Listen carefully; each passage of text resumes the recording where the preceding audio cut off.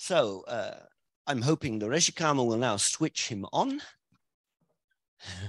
there. Hello, everybody. Gisèle, welcome. Thank you very much uh, also for the nice uh, intro. So let me uh, project my slides, which we tested earlier. So normally, maybe you could confirm that you see all of that around me. I'm assuming so. Yeah, that's okay. Thanks. Great. Okay. So um, I am looking forward to uh, showing to you how uh, RumbleDB works, uh, how to use it with a, a smooth uh, intro. And uh, for this, I'm assuming first that you clicked on that button and uh, did the preparations. It's not really so much actually just about making sure you have Java and then downloading the RumbleDB jar. But I, will I'll put again the, the, the links in a while. Um, I'll also monitor the chat, so I make sure I see that there's, uh, yeah, so I'll keep the chat open if, uh, if uh, people have questions, I'm seeing it, right? So I'll also monitor that.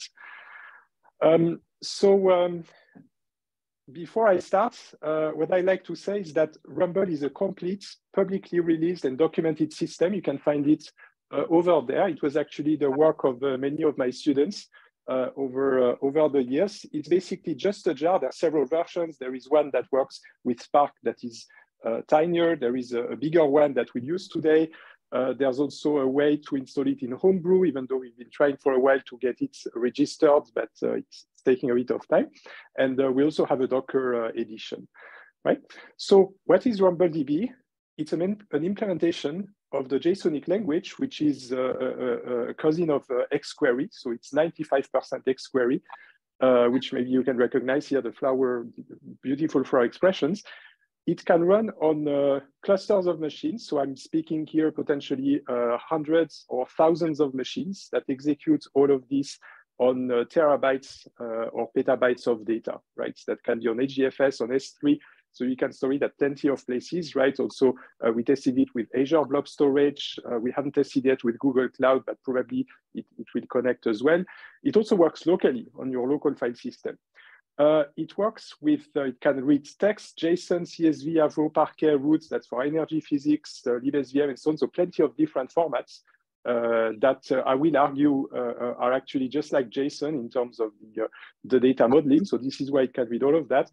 And uh, the vision, you might have heard of the term lake house, which was um, thrown a couple of uh, months back by uh, uh Databricks. So we view JSONiq as the ideal lake house language for the whole pipeline from data cleaning, validation, all the way to machine learning and, uh, and uh, making predictions.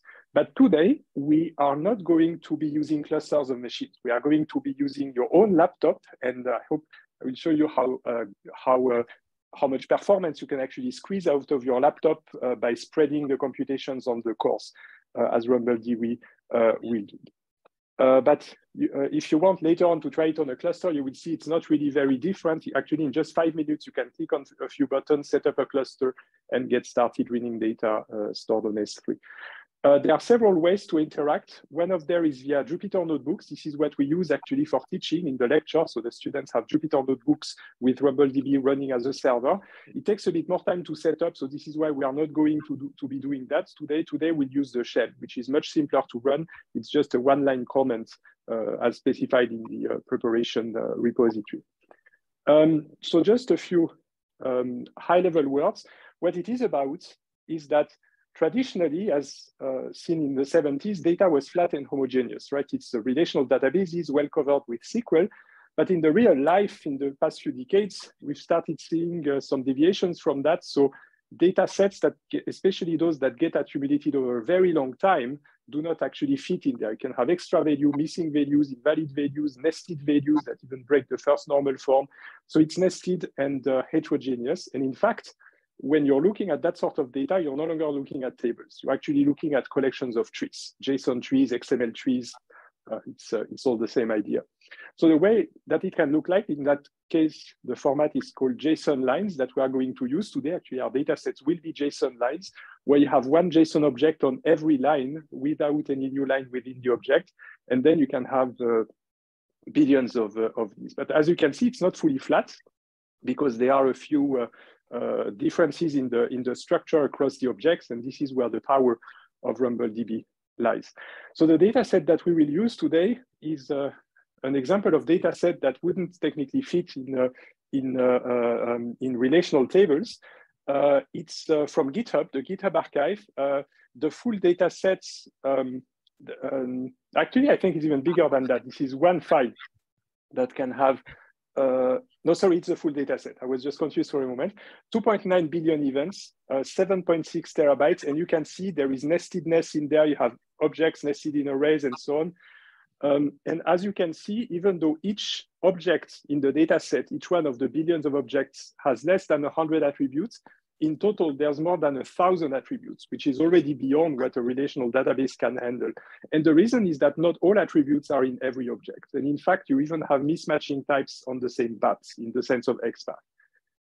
Okay, but let's back now to the get back to the tutorial. So I'm assuming you have Java installed uh, and that you have downloaded the uh, vrumble jar. You can quickly test whether Java is correctly installed by typing java-version in your command line and checking that uh, 11 uh, is coming out. Technically, it probably will work with 8 as well if you have Java 8. 17, we haven't really tested. It might be that it's backwards compatible, uh, but normally Spark really documents it as Java 8 or 11. So this is why I'm focusing on 11 today. So I'm assuming that you have uh, that you have uh, Java installed and that it works. And I'm also assuming that you created a directory somewhere uh, on your laptop uh, here just, for example, slash temps uh, rum, slash rumbledb tutorial, and that you cc'd yourself to that directory. And for simplicity, we are putting every everything there, right? We will put the data, we will put the rumbledb jar, we will put the queries, everything in there. You don't even have to worry about a path variable or anything because we're just using the standalone jar. So this is why it's actually simple and you just need Java uh, working properly. Okay so here, this is part of the preparations, but just to make sure that you went to that page with the Rumble DB releases, also linked from the homepage, that you downloaded this, uh, this jar right there. So the other ones, you see, they are smaller because they actually do not contain Spark. So they would run in uh, an environment where Spark is already installed. But the one we're using is this one, standalone, which you see uh, has in, inside everything that it needs. All right, so you just, I am assuming you downloaded it and put it in that directory, and that if you type this command java dash jar rumbledb blah blah blah blah blah blah blah dot jar, then you see that. Um, so maybe I can uh, uh, just quickly check that uh, everybody is with me there, and that if you type this, then you get something that more or less looks like the screen right there.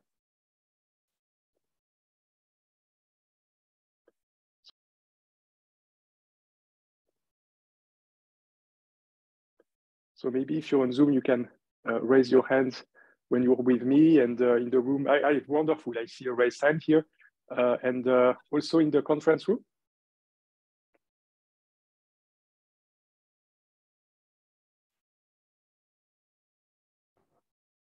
Yes, you can virtually raise your hand as well by clicking. I think it's somewhere somewhere near here. Uh, there is a reaction button. Yeah, I see plenty of raised hands. Wonderful, wonderful. So you are with me. Okay. So I have two more slides and then we'll uh, actually start uh, getting things done. So just to make sure that everybody is with me, this is, if you know XQuery, you'll be right at home. Uh, the data model behind the language uh, is made of atomic values, right? The same ones you have in XQuery, objects and arrays uh, that would be in XQuery, so in the uh, XML-based XQuery, so that's elements, attributes, and so on and so on this actually also exists in XQuery uh, 3.1 as a map uh, and, uh, and arrays uh, and uh, functions also are part of the XQuery language. We are not going to use them today, but these actually are beautiful for machine learning models uh, to store as functions. Okay, so this is the data model. These are the items that you can have and everything is a sequence of items. So what's absolutely beautiful and the reason why it actually generalizes uh, to, uh, to uh, beyond relational databases, and this is all from XQuery, that the sequences of item can be uh, homogeneous, uh, right? You can have empty sequences, sequences of integers, of booleans, sequences of objects that look alike, but then you can also have start having heterogeneous sequences, right? So you see you have the whole spectrum of, um, of uh, uh, heterogeneity versus homogeneity there, right? So the, the closer you are here, the closer you are to relational databases, and the, the more you are there, the, the farther apart you are from uh, relational databases. Um, and so just so that you see, there is also a sweet spot in the middle that is uh, neither quite there nor quite there, which is uh, also known as data frames. Uh, there's a hype about pandas and so on, but basically the idea is that you can also nest data. So you can have, this is an example of schema where you have here an array of objects, right? And you can represent them in, the, in this way. So what I want to, to say with that slide is that this is really more than just JSON. And this is why uh, you can, of course, store that as JSON, but you have also binary formats. Uh, I will also show you how to uh, create them that are much faster than JSON, even though in Spirit, they are exactly with the same data model, except that it's been validated. All right. Um, these are all the people that contributed to the engine uh, in the past few years. So now, if we want to use uh, the jar that we have just uh, downloaded, um, I'm looking for my mouse. Uh, we have three modes of running it. We have REPL, which is the shell mode that we will use today. Run, which is to run a specific query stored as a file. We'll also use it today. And serve, we won't use it today. That's for the HTTP server that you can run with uh, uh, notebooks, right? So now, if you could now run java-jar rumbledb blah, blah, blah, REPL, uh, and that should open a shell for you with a few example queries and instructions. Uh, and uh, once you have opened the REPL, you can try as the first uh, uh, exercise to type some arithmetic expressions like addition, multiplication, and so on, and press enter twice uh, to, to, to check that it's working and that it's executing correctly. So you can use all of these, you know, it's like Xquery. You have uh, the, the, operations just div for division, uh, idiv for integer division, and you can use parentheses. So this is more like a hello world. So now I'm going to wait until everybody is with me. I'll also check for the raised hands.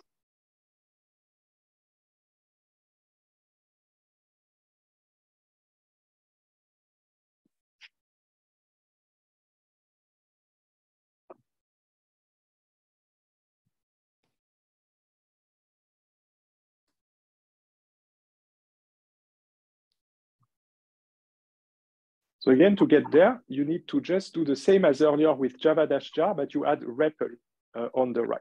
That's basically the main difference, and then you can type. Don't worry, yes, that's a good point. Do not worry about the warnings. This is actually coming from Spark, uh, and we cannot do anything about them, but these warnings are really just not, uh, not important, right? So uh, you don't need to worry too much about what he says about Hadoop or uh, some sort of uh, deprecated APIs in Java it's outside of our control. But it still works normally. Okay, so who is with me also in the room?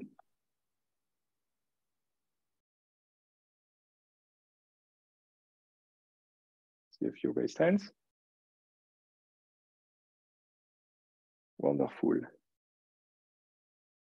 How does it look like in the in the uh, conference room, in the Alan Turing room? Uh, maybe one of the moderators.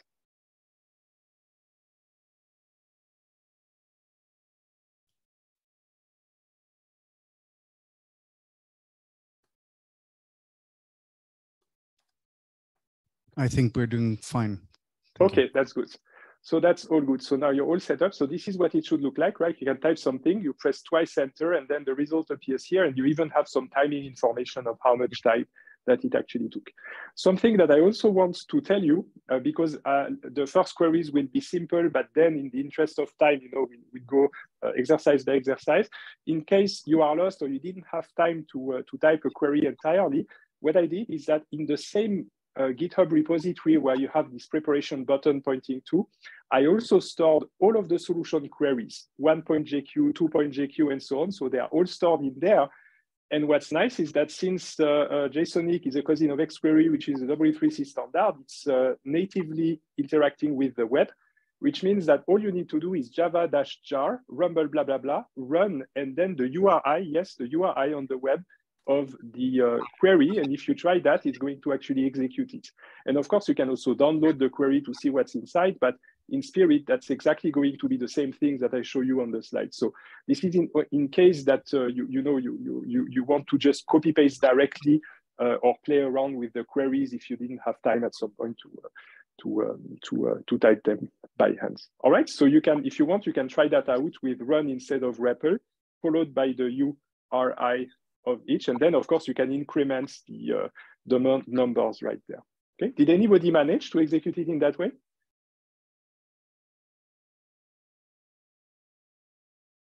Yeah, all right. Very good. So I will not repeat that. You know, it's for every query, it's going to be the same, and you have the number right here where, where I indicate what we are doing.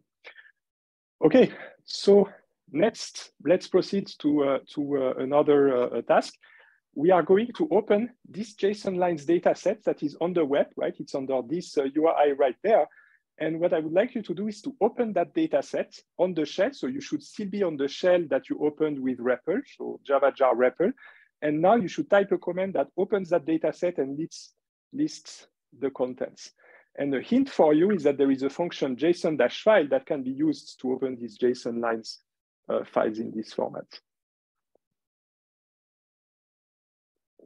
So I will give you now, again, a bit of time. And another hint for you, the parameter of that uh, is a path, of course, but it's a URI. And that URI doesn't need to be local to your file system. You can, again, use an HTTP URI. So you can directly put a URI like this as a parameter, as a string parameter, double quoted of JSON file. And it works also on HDFS, on Azure Blob Storage, on Amazon S3. It just directly reads from there. So now I'm waiting for you to raise your hand where when you manage to uh, uh, open that data set on the shell.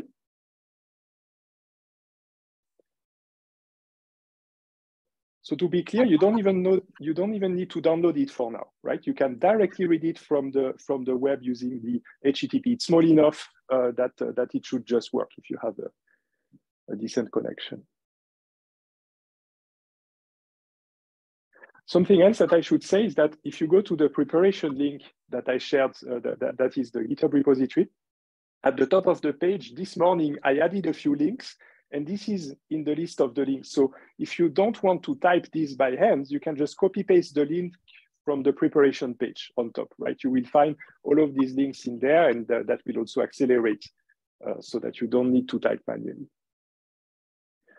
Okay, is, any, is anybody manage so far without me showing directly the solution? Yeah, somebody manage. Okay, so what does it look like? This is what it looks like. You just say JSON file parentheses, then you put as a string, double quoted string, this uh, HTTP URL, and uh, then you close the parentheses. Now, what did I do here? I put it on three lines, right? But this is just cosmetic. You can also have it on one line. It doesn't matter. It's exactly like xQuery, right? You, you, you the, the, the, it's not new line sensitive in the expressions. So when you type this, you will notice that it's actually displaying a lot of JSON. So don't be scared. It's escaping, of course, the, uh, the, some things in the strings. Um, and it warns you, uh, but this is because this is big data, right? Uh, so there are so many items in the sequence. Actually, there are 36,000 items uh, in this uh, in this file. But in order to not explode your screen, uh, we cap it at 200 items. So only the first 200 are shown, but actually in the background, it has the potential to read all of them, right?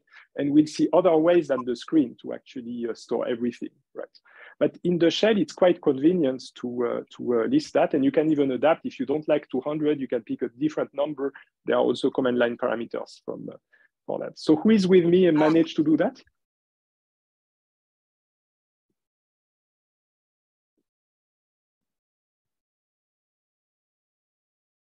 Wonderful, I saw a few raised hands. And again, you can also use this uh, 2.jq directly from the web as I showed you earlier.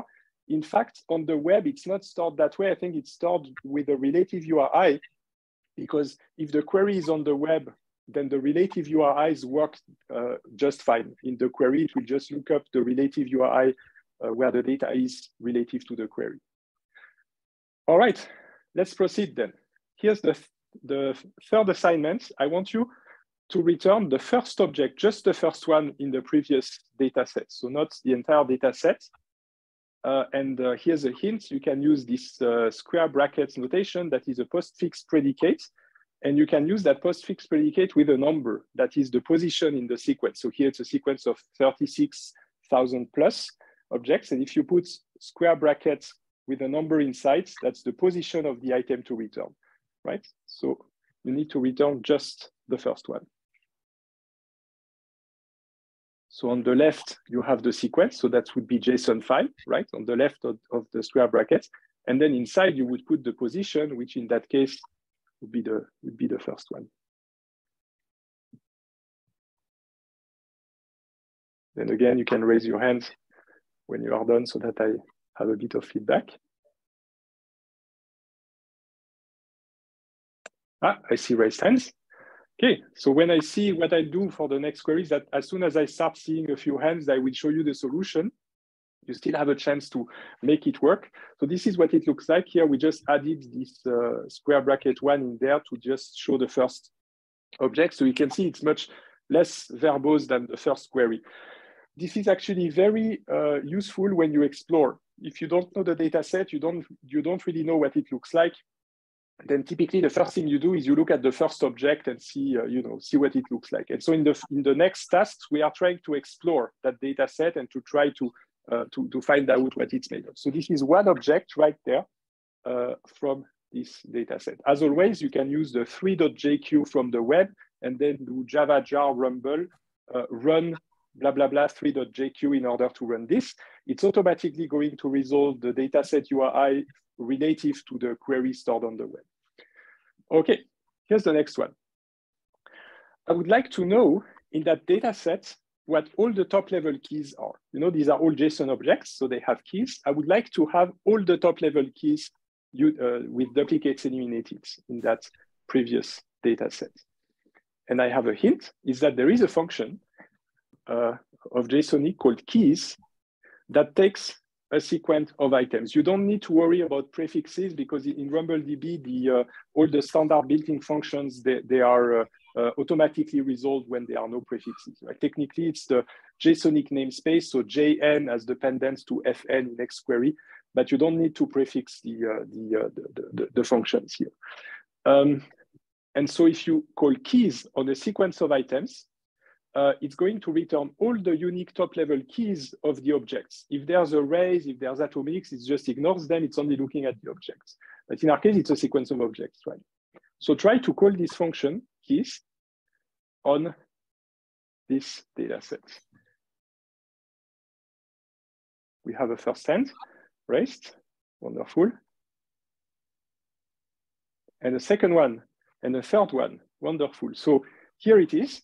You know, it's actually simple. You still have this JSON file call with the data set right there, but now we nest it in this keys, uh, in this keys function call. And you see here, you have all of the keys. There are not so much, actually. There are just eight of them.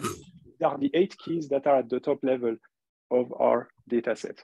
Now, if you're a fan of the new features in XQuery 3.1, like these function calls with the uh, uh, equal greater than arrow, uh, normally it, it might also work. I think we implemented it probably in that release. So JSON file, blah, blah, blah, with the row and then keys with no parameters, just object-oriented like, that should also work if you prefer to work in that way. Okay, so this is for discovering the keys in the data set. Okay, now let's look at one of the keys. Let's call one of the, uh, look at one of the keys, the, where is it? Type, this one here. You see there is a key called type. So let's try to look at the values associated with that top level key type. I want to see all of the values. Don't worry about duplicates, everything that is associated with the top level key type, all the values. So a bit of a hint, object navigation uh, is done with the dot operator. This is just like in Python, in JavaScript, in Java. So this is in order to be appealing to uh, people who are used to these languages. So we use, we use the, uh, the dot uh, operator and you can use it after any uh, uh, sequence of, of items. And it also works, I insist on sequences. It's just like XPath, right? So just like the slash in XPath, the dot works in the same way uh, in JSON, right? And as a side comment, what it means is that dot is a special character. So in, J in the JSONiq syntax, dot cannot be a part of the variable names uh, in the same way that it can be in XQuery, right? That's the price to pay to, uh, to get the dot operator. Okay, has anybody succeeded? Yes, I see a raised hand. Wonderful, two raised hands. This is how it works. JSON file blah, blah, blah, dot type. So if you know XPath, that should actually be quite natural to you. And then you will see a sequence of strings because these are all strings in there that is printed. So again, you see there are so many, there's 36,000, there's one for each uh, input object. So this is why you only see the first 200. But again, you even have the explanation on how you can, if you want to experiment, if you change this parameter on the command line and you add a, a different integer than 200, then you can actually control uh, what you show here. All right. Uh, now, I would like the unique values. So if I'm looking at this, there's duplicates, right? Push events is appearing uh, several times. So what about the unique values associated with the top level key type?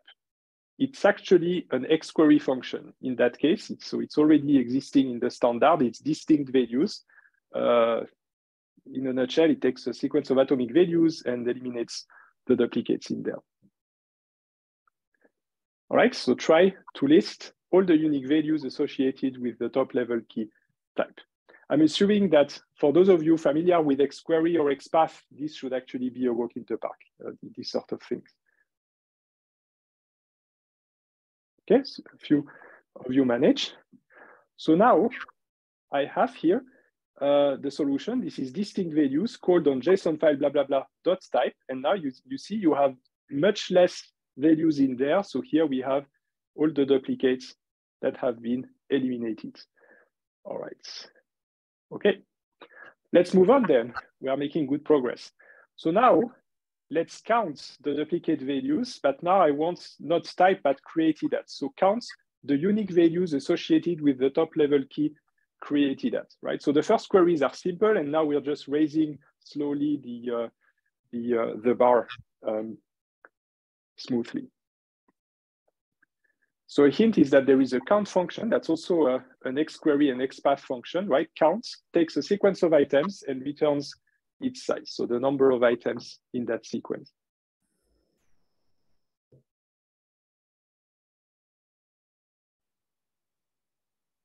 So again, I'm counting the unique values, right? Not the, the total number, but the unique ones.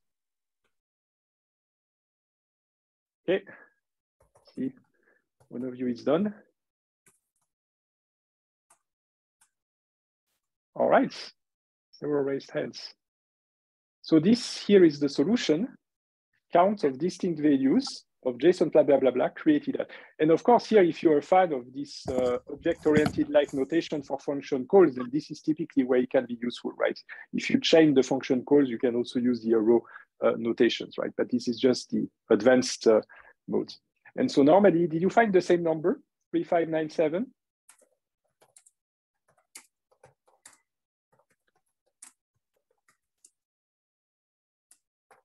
Normally if I did my preparation well, that should that should be. I don't see any confirmation. I'm just assuming that this is the case. All right. Now I want to show you, and this is where we start scaling, not the count of duplicate values, non-duplicate values, because this is a small count, but now the entire data set that is in this, in this file. So the total number of items in the data set. Normally, I don't need to give you any hint in there uh, because it's it's just done in the, in the, in the same function. So how many items are there in the data set? That should be an easy one. Any raised hands? You just need to remove things compared to the former query, actually. Okay. So count works also on very large sequences, right? So it means that you just say count of JSON file, and here you find 36,577. So here is the beauty of the language, a functional language like XQuery and JSONiq, which in that respect have the same design, um, the, the beauty of it is that it works on uh, two digit or five digit numbers, but it also works on higher numbers. So with RumbleDB, what we did is basically that we pushed the language to billions and billions and billions of items in the same single sequence of items. This is what we pushed. So let's try it and just download a bigger data set then. So let's go to this uh, uh, uh, file right there. it's big, right? So I, I, I, think you can try it to directly refer it as HTTP, but then you're going to trigger a download every time. So probably not a good idea. So what we're going to do instead you just, is just you just download it locally to the directory that you created, right next to the to the jar. The URL to that data set is also in this preparation page, right? So if you use the preparation link, uh, the link should be there. And all you need to do is click on it, save as, and then store this file git archive big.json, right? So I'll give you a bit of time to download. If you did things well, it should be 500, uh, 500 uh, megabytes. Is it too much? So I'm waiting until on Zoom you raise your hands when you are done she's, with downloading. Yes. Uh -huh. I know the CWI has a very good uh, bandwidth, but yeah. I'm so sure the Wi-Fi in this hole has a similar. Ah, okay. Yeah. In the worst case, as a fallback solution, in order to, to continue, if you don't manage to download it, just download the original one, the one we've used before, right? So the git archive.json, you can download this one instead, and then you can continue to continue to work with the smaller one. You, you will still be able to do the, uh, the assignments. But if you can, and you, you manage to download the 500 megabyte one, then it's even better. Right.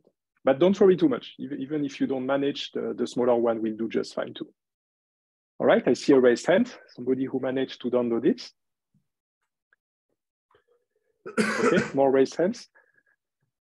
Did anybody so far in the uh, Turing room manage to download it? Did it work for anybody, anybody who is physically in Amsterdam? Or is there at least a progress bar that? Uh... Yes, there's somebody who uh, managed to. I see. Oh, wonderful, wonderful. So normally it should work for a few, for, for hopefully everybody. So I'm going to continue because there, the next slides are, are just uh, the, the, natural continuation. So you, you can still continue to download in the meantime. But basically now I'm asking you to count the total number of items in the downloaded data sets, the one you've just downloaded.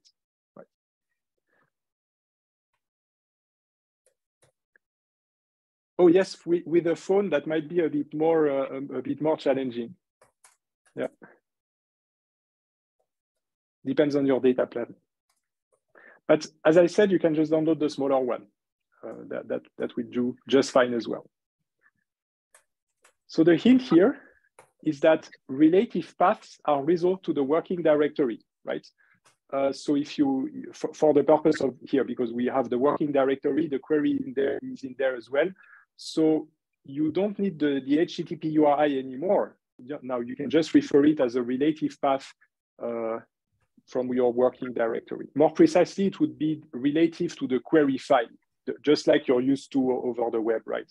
So it's relative to the query file that the data set is resolved. 30 seconds for the smaller one, yeah. So I can imagine that uh, that uh, with this speed, it will probably it would take more time with the bigger one. All right. So the solution now is as expected counts of JSON file. What changed here is that now it's a local uh, it's a local uh, URI because this is right on your laptop. You're, we are no longer downloading it downloading it every time from HTTP. We are just reading it locally. Uh, and normally you should get a count of 206,978. So who is with me? Who managed to download this? Or to do it in local with the smaller versions, which is fine too I see a few raised hands. Okay, let's continue then. Okay, now on this bigger data set, from now on, we work with the local data sets uh, that you downloaded, so whether the bigger one or the smaller one. I would like to list the events that have the type push events in that uh, larger data set.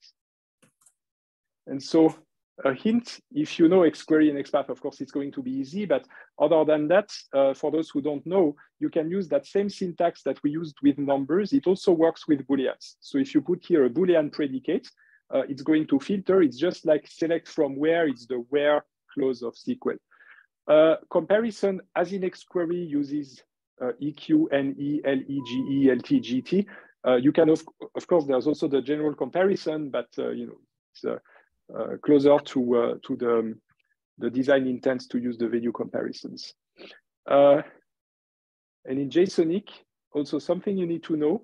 The dot is used for object lookup because of the, the looking like JavaScript and Python for people used to JSON. Uh, it's dollar dollar. It's a, it's a special variable that is not dot but dollar dollar for the context item. So basically what you put in there is a predicate and the predicate is going to be evaluated for every one object in the input sequence every time dollar dollar is standing for the current object, which is why it's called the context item.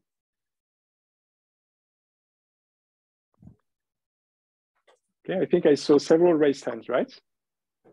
Oh, they are covered again. So let me, yes, exactly. So this is the solution. It's JSON file. Now we have the relative, uh, the relative path here. Now you have the predicate dollar dollar dot type equals push events. So now uh, it's interesting to understand what's going on here.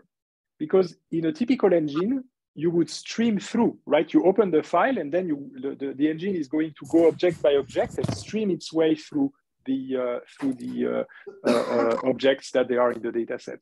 In the case of RumbleDB, it's actually different because what it's going to do is going to actually partition the data set into several batches and it's going to spread it over your cores. So it means that all, each one of your CPU cores on your laptop is filtering a, a distinct subset of the data set. It's all going on in parallel, right? So this is what's happening. This is all delegated to Spark and pushed down to Spark. Count is the same. When we counted the uh, number of objects in the dataset earlier, it was actually counting partitions in parallel, distributed on computer cores, and then adding the uh, numbers of each partition. So it's efficient. Now, of course, the benefit that you get on a single laptop might not be the same as in a cluster, right? In a cluster, the benefit will be enormous. On a laptop, you do get a benefit, but if you are bounded by the input output and, and, the speed at which you read the data from the disk, then spreading on the core might not always help, right? If, if the bottleneck is reading from disk, uh, it, it, doesn't always help, right? But nevertheless, uh, it's, uh, it's uh, uh, an efficient use of your uh, of your core multiple core resources on your machine. All right. Now, the next assignment is how many of these events, how many of the objects have at least five commits? How do I know that? Well, there is a, a path in each object that is the object dot payload dot commit, and this is an array, right? Every time it's an array of items. And in order to know that size of the array, you need to use the function size. So size of the object dot payload dot object.payload.commits gives you the size of the array for the current events, right? And now you want to filter the events based on that. So you need to use a Boolean predicate with the square brackets that tests for the size that is at least five. And then you need to count the number of events, right? So this query is using several of the things that, several of the features that we have seen until now. All right. I see a raised hand. All right. So I will continue, you know, in the interest of time and advance. You know that the solutions are on the internet too, right? So if you if you didn't manage to execute your own, you can still run the one that is on the internet. So now it's 11.jq that does the trick. And so it looks like this. You have JSON file of your, your data sets. Then you have the Boolean predicate that tests whether the size of the current object dot payload dot commits is it greater or equal uh, than five, right? And then you count the result of that. So it's really a Lego game, a Lego game that you assemble the pieces together. And normally you should get with the larger data sets, the big one, uh, 5,643. All right. And again, if you did manage to execute that, you can directly run it with the command I showed you earlier, java jar run ta ta ta ta ta 11.jq, and that will just work. But of course, it's going to read it from the web instead with the small data set because the bigger one would take too much bandwidth, right? But normally I, I put online this solution file so that it just works. If you try run on the file, it should just work. Okay, now I'm asking you to return all of the emails used in all commits. So remember that the commits are within arrays in every event. So you have the events with arrays of multiple commits and in the commits, there are email addresses. And the email addresses are located at .author.email in the objects that are in the commits array, right? And the commits array, we saw earlier that they are at .payload.commits, right? So this is really a navigation thing. You need to go down. And also what you should know is that you can unbox, like open an array and make a sequence of item out of it with an empty square bracket expression, right? So just an empty square bracket expression is, is going to open up the, uh, the commits and it's all going to be flattened if you use it on the entire sequence, all right? So try to return all emails used in all commits, right? So you probably are going to use JSON file, a JSON file, blah, blah, blah, and then dot payload dot commits, and then you unbox, and then you continue with dot author dot emails because it's just like the slashes in XPath, right? Then you can, you can return them. I see a raised hand. Let me show you what it's going to look like. Another race hand. So JSON file, blah, blah, blah, dot payload, dot commits. We unbox. So now we are exploding the, the, the commit objects to a single flat sequence. Then we continue to navigate dot author, dot email. And this is going to be a very long list here on the entire data set. And all of that is actually spread over the cores of the machine. And then it reassembles everything uh, at the end, right? Okay. Now, how many emails were used in the very first commit of each event? For, for each event, for each object, so an object is called an event in that case, for each object in the data set, look, the look at the first commit and count how many emails were used. So for this, you need the syntax to, to access a position in an array, right? So the nth member of an array uh, you need a double square brackets. This is because it's not the same as extracting from a sequence. If it's a sequence that was the, sim the single square brackets that we saw earlier, but if you want to, to, to look up a position within an array, uh, then that's the double square brackets. And this also works on sequence of arrays. So if, if you have a sequence of arrays, it's going to take the nth member of each one of these arrays uh, in parallel. So you need to open, ah, I see somebody. So JSON file, right? So dot payload dot commits, and then you need to use that to access the first one. So double square bracket one, and then dot author dot email. So you see the solution right there, right? JSON file, blah, blah, blah, dot payload dot commits. You pick every time the first one, then the author, then the email. Then we eliminate the duplicates to count the number of uh, distinct emails, and then we can even count. I think I didn't ask to, oh, say yes, how many? So yes, count of distinct value and so on.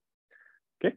And as always, so now the queries are getting a bit more complicated, but you can always use the 13.jq solution file if you want to execute it directly. Okay. So I'm assuming everybody is with me. Let's continue. So now you know in XQuery, there's these FLWOR expressions. So you can actually rewrite your query for convenience using a cascade of let clauses, uh, which can be very convenient. So try to take this query right there and now rewrite it as let, let, let, let, let return. So this is a hint of what it looks like if you are not familiar uh, with uh, XPath and XQuery. So let, let return, and you can assign variables using dollars. The magic of RumbleDB is that RumbleDB is not afraid of variables that have billions of items. You can, you can have in a single dollar $y, it can be a sequence of billions of items. It will just work, just like that.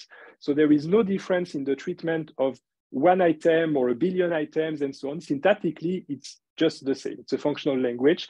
And all of the complexity of the large sequences is automatically taken care of in the background. All right, so you just need to, to separate the logic instead of having the, the chain of function calls, you start let's JSON file, let, let, let blah, blah, blah dot actor dot login, let's equals distinct values, let's count and so on. Right? Has anybody managed to rewrite this as a sequence of let's? I'm, I'm assuming it's the time to write down the things, right? So it's probably the typing with your fingers. I see one hand, so I'm going to show you now. This is what it looks like. It's a sequence of like, okay, I overdid it. I know that I overdid it, but it's just to make my point, right? So I'm first storing the path in there, right? Then I'm accessing the events with JSON file. So notice that here it's a large sequence. It's 200,000 items in there. Then let actors, blah, blah, it's still 2,000, 200,000. Then login, I overdid it, I told you, right? So I separated it. Then you have the distinct logins with distinct values and then return count, blah, blah, blah. You should get exactly the same result as before. This is just a rewrite. It's very convenient actually. And I know the students, they love to do it that way uh, which is the reason why we made sure that it works with very large sequences because this is a quite natural thing to do. In fact, when people use uh, Spark or even Pandas, uh, if, if, they really want to use Python, people tend to do that. They, they tend to do a cascade of, uh, of assignments. So of course, it's not an assignment here, it's a binding because it's a functional language and so on, but the, the, the spirit is there, right? This is what people do naturally. Okay, so that's a cascade of let clauses. Now, I would like you also to show that this is supported to add static types. So you, you need to add type declarations in there to make sure that the types are correct. And here's an example how you can add types. You just need to as object, as integer star, if you want multiple. So this is just one object. Here it's a sequence of an unspecified size of integers. And you just need to extend this by adding the types everywhere. Right, so I'm going to also show you quickly. So in the interest of time, I'm, you know, I'm advancing, but you can, all, as I said, directly execute it with the solution query. So here I added, this is a string. Here it's a sequence of objects. You still have a sequence of objects. You have a sequence of strings. Then you have again a sequence of strings, and then you have the count as an integer. Here I overdid it again, and then you return that. And RumbleDB is checking that. It's all doing this in parallel. So the check for the sequence is again distributed on the cores, right? That it checks that everything is an object. All right, I'm advancing. Now we use the let's, right? Let's use the for now. So for each event, I would like to return the ID of the event and the number of commits. And you need for that an object constructor. So it's going to be this structure here for dollar $x in blah, blah, blah, let's dollar $y as integer, that's an example here, and then return, and here you return an object, and then you populate that object with what you want, right? So just give a name to the key right there, uh, and then you have the ID, the first value, and here a second key, and then you have the number of commits where you need to actually compute it. So you need for dollar $x in JSON file, blah, blah, blah, to iterate on the events, and then return and then an object constructor ID, and then uh, you know dollar events.id, and then uh, some other key, and then size of dollar events dot payloads dot commits. Right. That's basically how it's going to look like. Let me directly show to you what it looks like. So you see, I even added a let here with the number of commits. So I iterate on the events, right? For dollar events. It's all done in parallel. So the for loop is automatically distributed over your cores. And then you compute the number of commits with that size function that I told you about. And then you return two things, the ID with the, uh, the, the, the, ID value here and number of commits. You can use spaces because they are squats. Uh, and then this variable, you compute it right there. This is uh, actually a feature that we don't have in SQL, the ability to, to do these let's kind of things, but it's very handy. Okay. So I will continue in, in the, if that's okay with you, in the interest of time. Uh, is it okay if I continue or do you prefer that I wait for you and do a bit less? Just let me know. What do you prefer? I continue. All right, so I will continue. Okay, so now uh, what do I do here? Yes, I added a little trick because it might be, you might notice that there is a null. Uh, you might have nulls in there. So if you add here a test for the existence to the number of commits, if it exists, you return it, otherwise zero. So that's an example of nested if then else in there. All right, now I'm asking you to sort the uh, event IDs and types, but ordered by the descending number of commits. And for this, you have the order by clause that allows you to, uh, to, uh, to do this sorting. The interesting thing here is that, again, this order by is spread over your CPU cores of your machine, right? So it's all done naturally and, and uh, by Spark, so it all works in parallel. Here it's an example of integers. You need some order by based on size of dollar events dot payload dot commits. Let me show you. So for dollar event in JSON file, you compute the number of commits. It's the same let clause as before. And you see now I have this order by nb commits descending return the projection of the events to just ID and type. So this project function is a shortcut that I don't have to write explicitly the object constructor, right? So I just project to just ID and type here. All right, so this is how I sort things. Okay.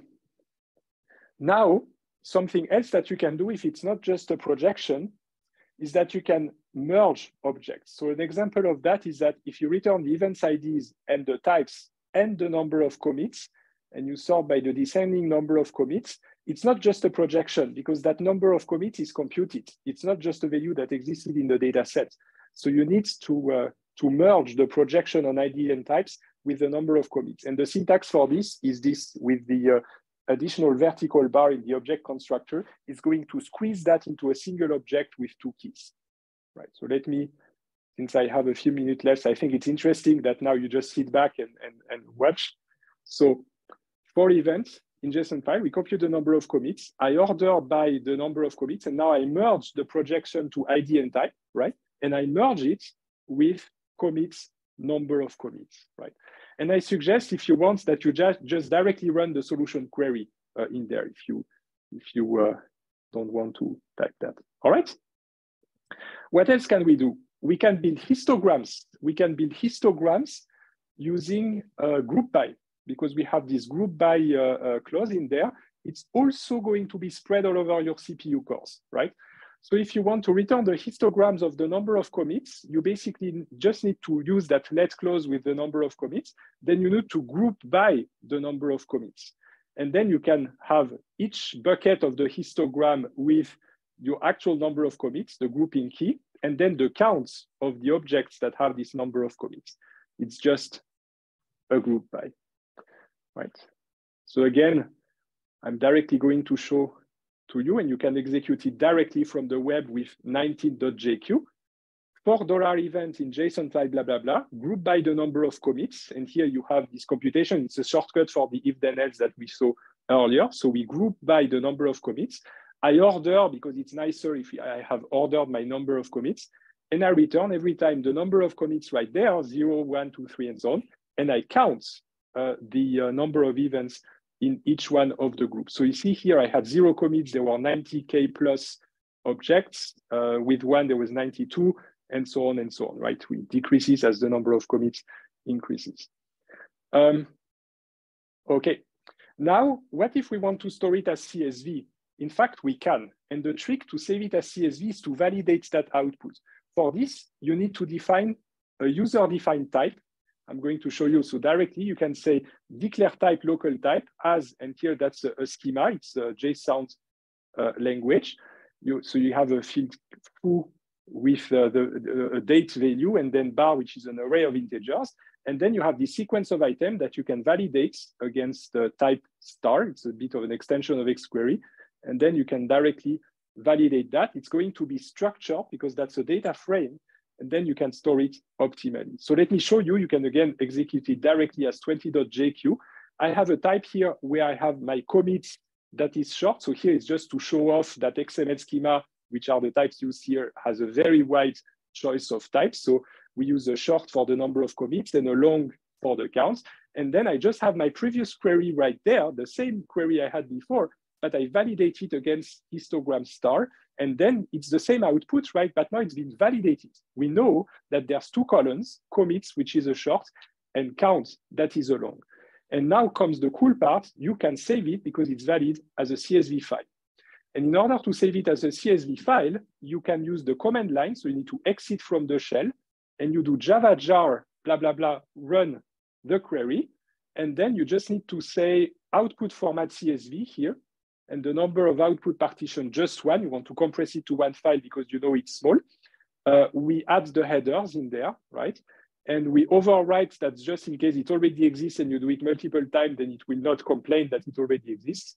And here, that's the path to which you want to output, right? So you can save it as a CSV file uh, you can use, by the way, here instead the HTTP blah, blah, blah 20.jq, right? So if you want, and then it will just download the query from the web. You don't even need to type it. And this is what you get. It actually writes a CSV file to the disk with this content. I actually just took a screenshot if you try to open it. So on a Mac, it's ju just opened it in that way. And you see how now you can actually start working somewhere else with your data in order to uh, visualize it, right? So let me continue. So to, to show you the sort of things that you can do, you can also take the time to do it offline because you'll have the slides and so on. So I'm just, just now going to go over uh, what is remaining. I try to make to bring it to the next level. This was just 200K, that's nothing. What about more data? These are the original addresses for every day there is a, a JSON file that is compressed. I actually downloaded just three days of that, three or four days that I downloaded to my laptop. So you can do it with a wget uh, specifying for every hour you have a, a, specific file. You don't need to do it now, but I did it. And actually, uh, I was able to redo the histogram, but now I just say JSON file with a star. Here I'm reading multiple files. It's all the files that I downloaded .json.gz. It also reads from compressed. That also works. Uh, you don't even need to worry about uncompressing. It's exactly the same query. I didn't change the query. I just put here a different path, which is the Joker path to all of the files that I downloaded. This is a lot, right? And now, how many objects were there? You can actually uh, inline the query like this. And so what I did is that I did, okay, Java, run count of JSON file of everything I have. Here, I'm not doing it on the shell. I'm directly doing it on the command line with this. So how many did I have? Look at that, 18 million, 18 million objects, and it just ran on my laptop, just on my laptop. On a cluster, we went to billions, dozens of billions without any problem. Like just to show you the, uh, the power of that. There is a trick also that you can use while it's running. You can open your browser to localhost 4040 and you can see what's going on with Spark, right? So if at some point you want to have fun and look at uh, what's going on, that's also an interesting thing that you can do, right? Again, something you can do offline after this tutorial. If, if you don't like CSV, maybe you don't like CSV, right? Or you want something efficient. Well, there's a really nice format called Parquet. It's binary, it compresses everything. If you have valid JSON, then you can convert it to Parquet. Here's an example of data set you can play with later. It's a confusion data set uh, that you can validate. Let me directly show you. Uh, this is a schema you can create. Uh, the, the exclamation marks means required. And here it's string, string, string, string. So this is all a data frame. Actually, it's called the data frame. So we validate that file that we open as JSON. We validate it against that schema. And after we have validated it against the schema, we save it as Parquet using this output format Parquet that I showed you earlier. And what's really nice is you see the difference. If you try to execute a query with JSON, here it took 25 seconds to execute on the original file, which is a lot of text, right? But if you compress it to Parquet by validating it and outputting it to Parquet, here, if you read it again directly with Parquet file Parquet, it only takes 2.5 seconds. So you see, this is what I tell my students, start converting it to a binary, validate your data, put it as a binary format, and then exactly with the same language, with JSONiq, you can actually also manipulate Parquet uh, data. Another cool feature that you can experiment with is that you can store modules on the web natively, just like you do with xQuery. So if you have a module stored somewhere, there is one actually here that you can play with. You can use the function and directly use the, the code that is downloaded from the web. All right. So all of that, uh, the, the, last task that I showed you, you can try it offline and see for yourself. Try to push it. I mean, let me know if you manage to do more than 18 million with, uh, with the downloads of the GitHub archive. If you do, I'm very interested. And for the courageous of you, you can also try to look at the documentation of RumbleDB and use Amazon EMR to create a cluster of machines. And then you just uh, try to do it with billions. This concludes my tutorial. I think it's exactly 10 uh, a.m. So I hope that's uh, that's the uh, that it's on time. And thank you very much for uh, following this. And uh, you can experiment. It's online, it's free, it's open source, so you can play with it as much as you want. Thank you very much.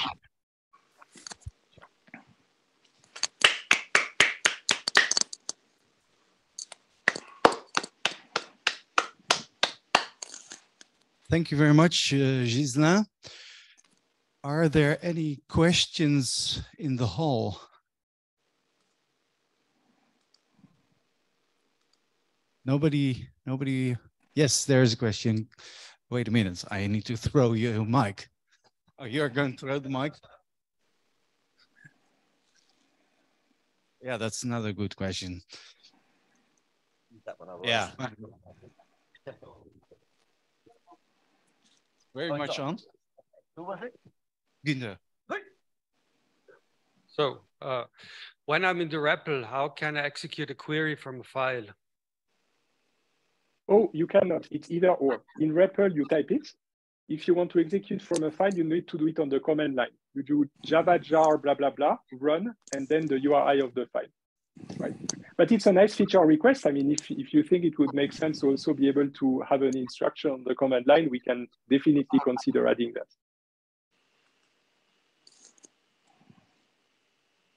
I have a question of my own. Uh, when I try to get results, I got all these square brackets telling me how long it took. Can I switch that on and off in uh, some Yes, Norman, there, there is a way to configure the, uh, the outputs. Uh, we will probably add some more documentation on that. So this is all using the, uh, the, the, the log4j uh, facility. And so if you, if you configure the parameters of log4j, it's just about adding a config file uh, on some path, then you can deactivate all of that. Uh, I think we will consider putting some documentation on that so that people don't need to look it up on the log4j website. Dan, are there any questions in the chat? Well, then I think uh, this concludes your uh, tutorial. Thank you very much, uh, Ghislain, and uh, um, we'll be back in at 10.30. Maybe one last round of applause. Thank you very much.